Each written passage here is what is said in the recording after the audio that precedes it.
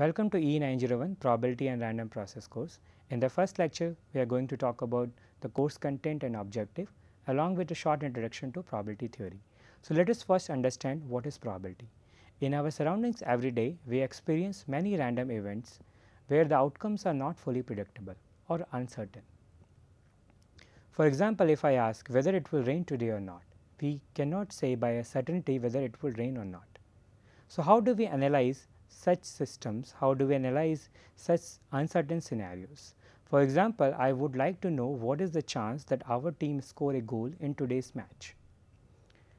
So, to answer such question, we take long term averages. We look at the team's performance in the past and based on that we make a guess about their chance to score a goal today. Such long term averages are interpreted as probabilities. The next would be how do I make decision under this uncertainty. Of course, there would be many outcomes and I may not be able to uh, make a decision which is good for all these outcomes. In this case also I have to go in an average uh, way. Suppose I want to build a classroom for the incoming batch. I do not know exactly how many students will be there, but I may have some idea. So, based on that I make a decision so that on the average the decision is optimal. And of course, there can be some risk constraint. Suppose in a game you want to increase your average earning, but of course, you want to avoid very large risk. You may not want to take those strategies which may result in a very huge loss to you. Probability theory deals with the phenomena where outcomes are not fully predictable but they exhibit some regularity when observed many times. So, these are the phenomena which we are going to focus in this course. We want to look at experiments where outcomes are uncertain, they are not fully predictable, but we know that if those experiments are repeated multiple times, there is some pattern on long time averages. Otherwise, we may not be able to apply probability theory to such phenomena. So, to understand what exactly probability means, how do we interpret this for the physical uh, phenomena, I am going to take a dialogue for uncertainty and probability. So, this is in a hospital, a patient is administered a life saving drug. So, the relative who is taking care of the patient is very eager to know how the drug will work or not. So, he uh, asks the nurse that nurse what is the probability that the drug will work.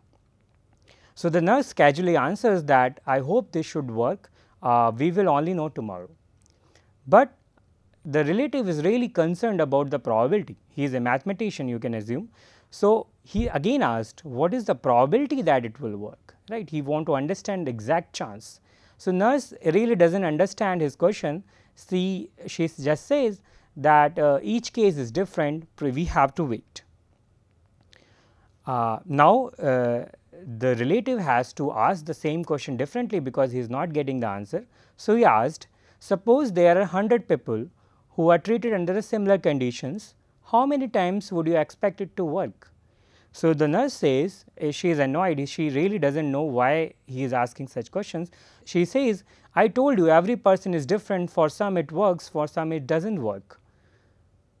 Now, he still want to answer, know the answer. So, he uh, frames a different question. The relative asks, okay tell me if you had to bet whether it will work or not, would you bet or not? So, nurse says probably uh, I would bet it would work uh, and she is happy because she thought she understood the question. But that is not the complete answer.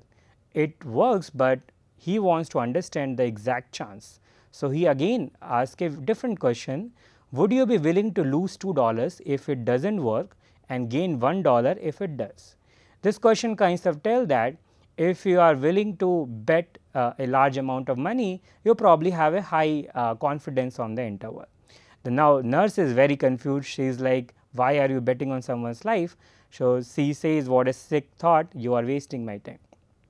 So, this kind of uh, phenomena kind this kind of dialogue tells you uh, give you some idea about what probability is and how different people may interpret. So, the relative tries to ask very different question to the nurse every time uh, to in the hope that he gets the answer he wants.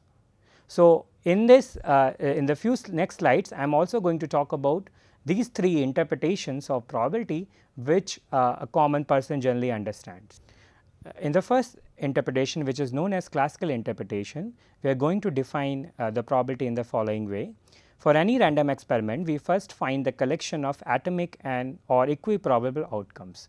This means if a uh, experiment has multiple outcomes, we try to find those outcomes or collect the outcomes in a way that each set of the outcome is equally probable.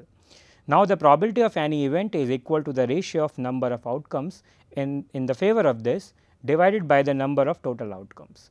So, let us take an example uh, for this. So, we roll a dice and we want to ask what is the probability to get a even number. So, this dice has 6 faces you get 1, 2, 3, 4, 5 or 6 and all of these outcomes are equally probable. So, our question is what is the probability to get an even number? So, these are the 6 outcomes you can see and what are the outcomes in this which are favorable to our uh, uh, condition. We want to get even number.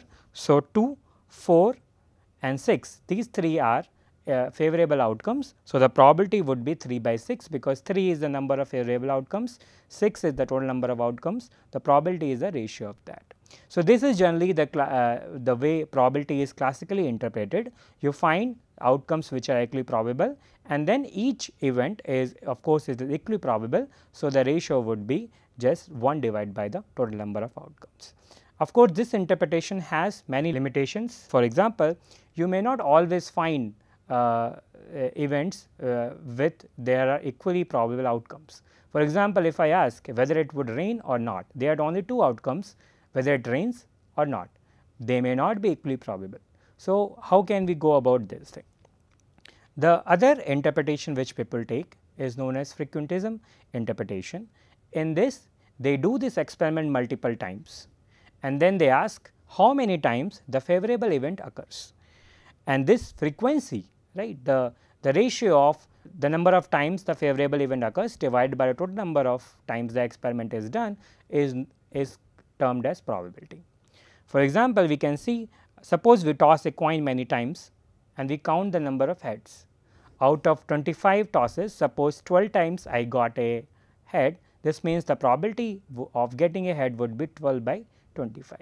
So, this is the way normally the uh, probability is interpreted the limitation would be that uh, there may be cases where the experiment which you may not be able to repeat. For example, if I ask uh, what is the uh, outcome of the today's match, you may not be able to repeat the today's match multiple times. So, there is some difficulty in those cases. How do I interpret uh, the frequentism interpretation in those uh, cases? So, the third interpretation I am going to take is known as subjective belief. Sometimes we may have some opinion or belief for the random experiments.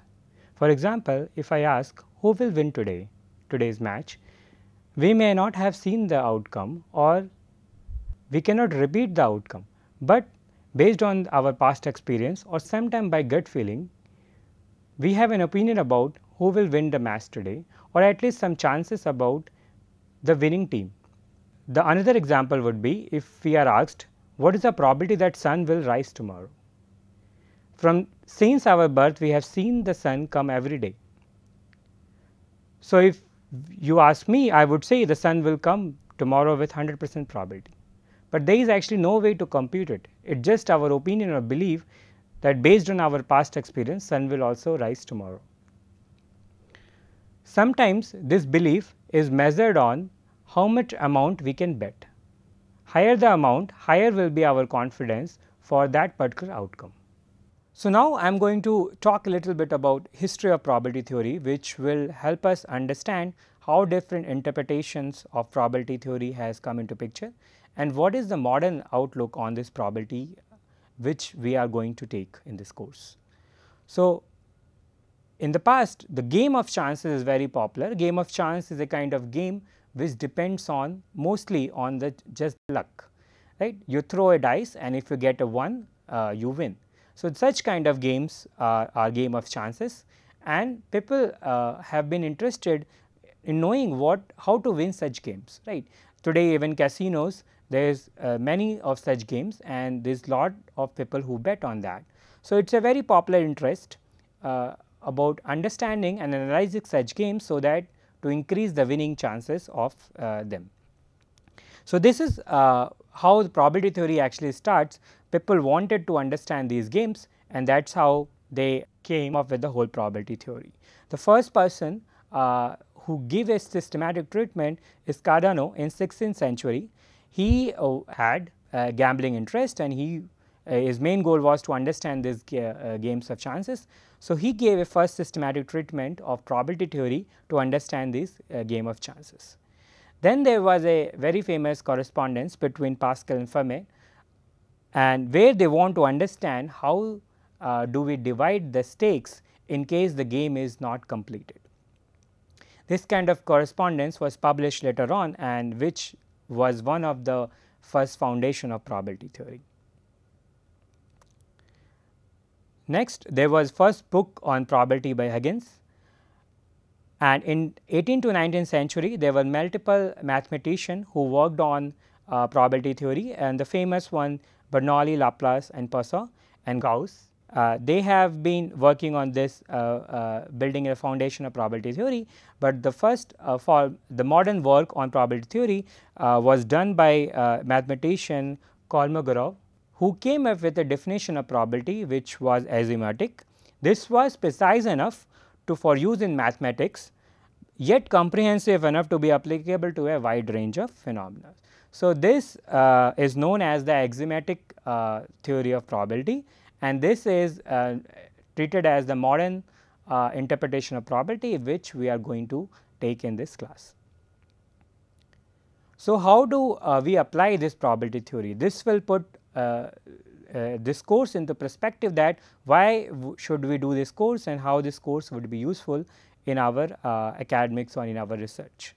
Suppose we want to uh, take a case, there is a game where two players are playing A and B are playing uh, and the game is like this, they toss a coin one by one and the player who gets the head first out of the two player wins. And I want to understand what is the chance A wins. So, in such questions, I will tell you how do we apply probability theory. There are three steps to solve this question. One is observation. There is a uh, the inherent randomness comes from tossing the coin. I need to understand how that experiment works. The way I do it, uh, I do it multiple times and may record uh, the number of heads, right. I may apply my expert's belief or I may have the classical interpretation right. So, no matter how I do it that depends on the interpretation, but I would come with the probability of getting a head and getting it. That observation step is done at this point. Next is I need to calculate the probability uh, or the chance A wins. So, I need some series of formulas which I can apply and there is the deduction step comes in. So, deduction step is made from some well uh, known uh, laws or axioms and we apply them one by one to get our answer. And once we have this answer, I need to interpret it uh, that is the last step that suppose I get a number, how do I interpret it, right. Suppose I get the answer 1 by 3, then what is the meaning of this 1 by 3? Is this the chance that A wins? Again you have to apply different interpretations to understand what probability exactly means. So, first step and the last step mainly depends on uh, your interpretation and we are not going to uh, cover that part uh, in this course. We are mainly focused in the middle part which is how do we deduce different uh, probabilities and here we are going to apply the axiomatic definition of probability uh, and this would be the focus of this course. What is the definition of probability, uh, what is the axiomatic definition of probability, what are axioms of probability and how do we apply that to get the answer. How we got the probabilities or how we are going to interpret it that is uh, will not be covered a lot in this course. Uh, I would assume that it has already been studied in the undergraduate courses you may have done. So, let us understand how do I apply this in engineering. The most of the real world system you will see their outputs are generally random. Okay. For example, let us take a very relevant question uh, example in communication engineering. We want to transmit a message. Right. So, there is a transmitter and there is a receiver. The transmitter transmits a sine wave and it propagates through air. There is a lot of random factors phenomena going on in this propagation. This may get blocked, this may get scattered and eventually you get a signal which is distorted at the receiver.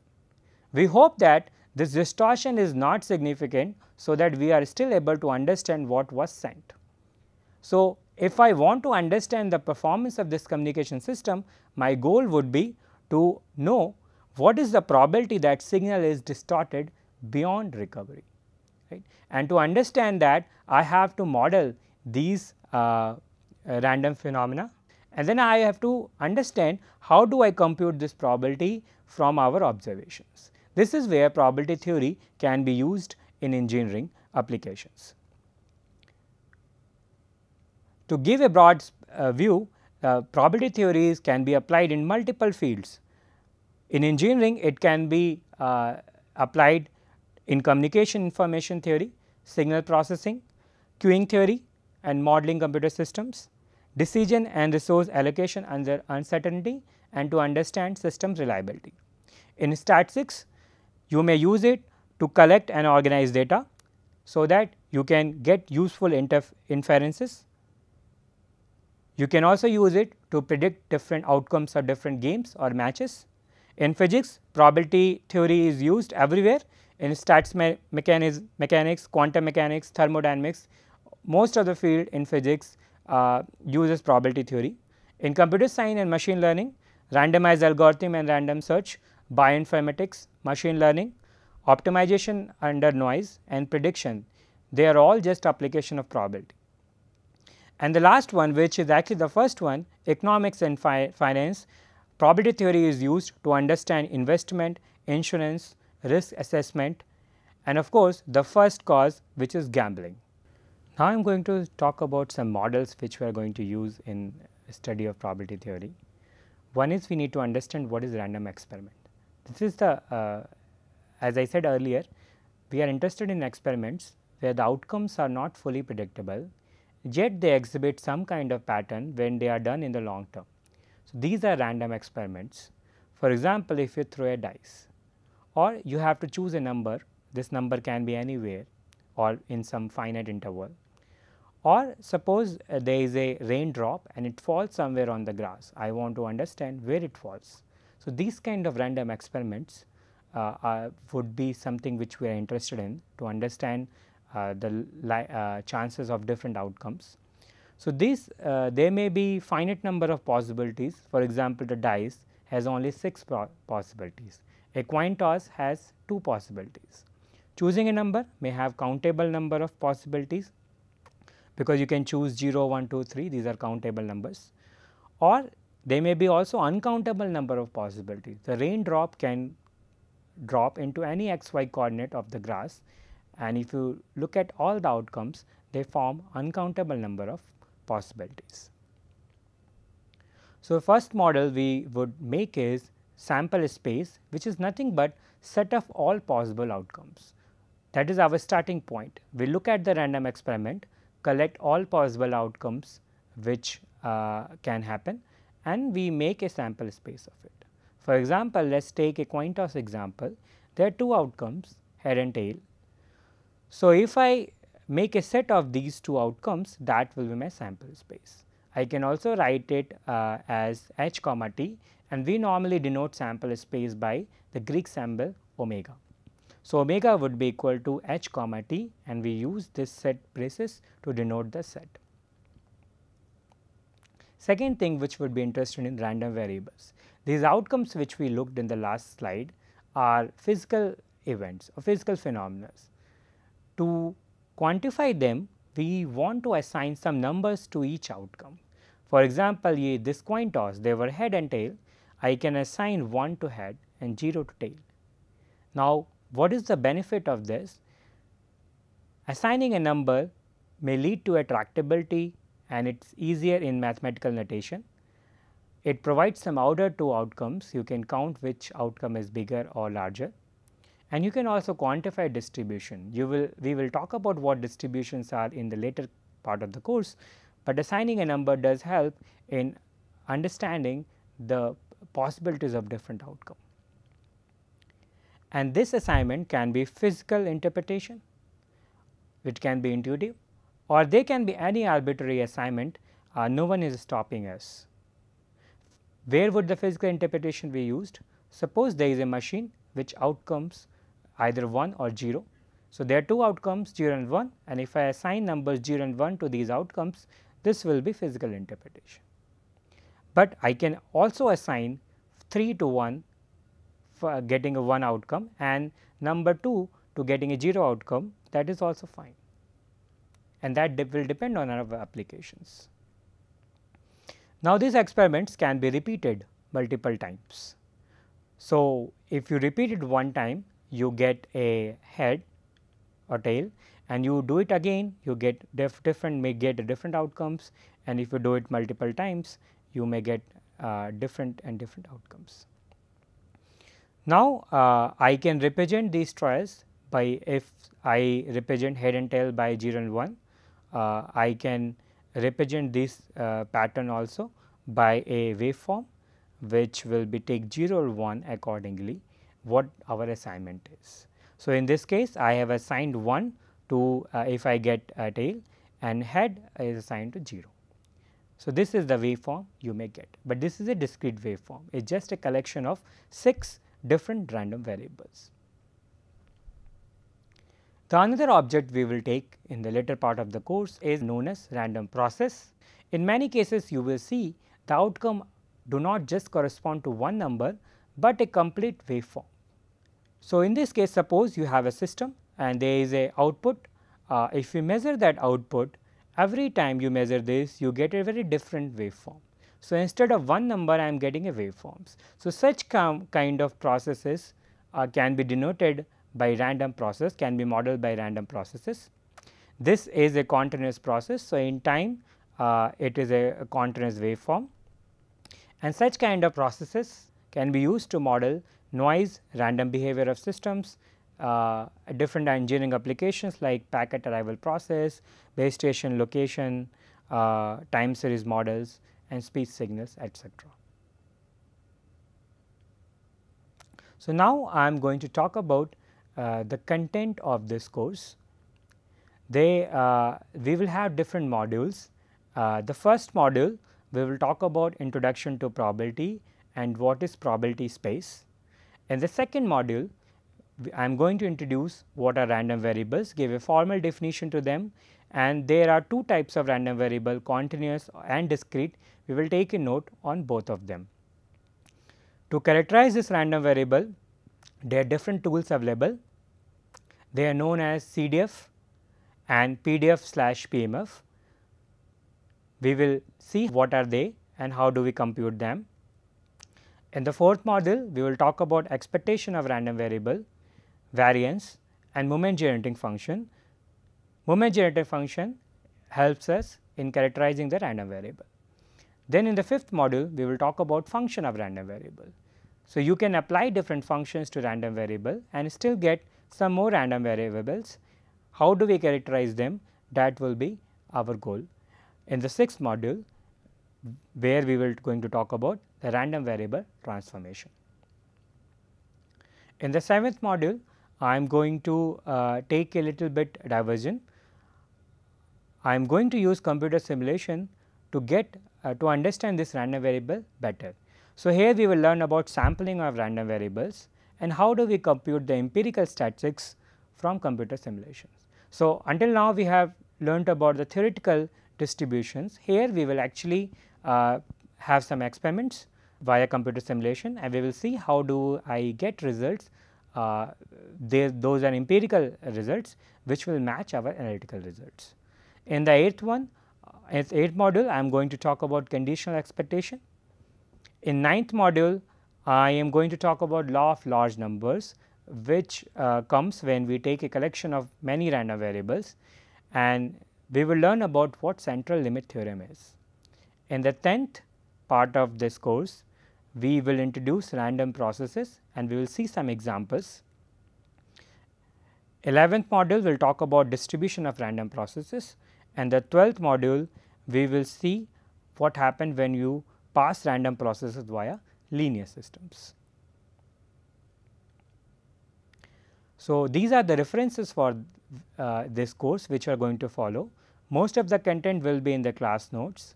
So, if you follow them you will get uh, the complete content of this course. If you also want to study extra you there are two reference books which I would recommend. One is uh, by Papoulis and Pillai, its name is Probability Random Variable and Stochastic Process. Uh, you can look at the fourth edition and the second book is a online book which is freely available. It is from Bruce Hajek, an exploration of random processes for engineers. The link is uh, given here. Thank you.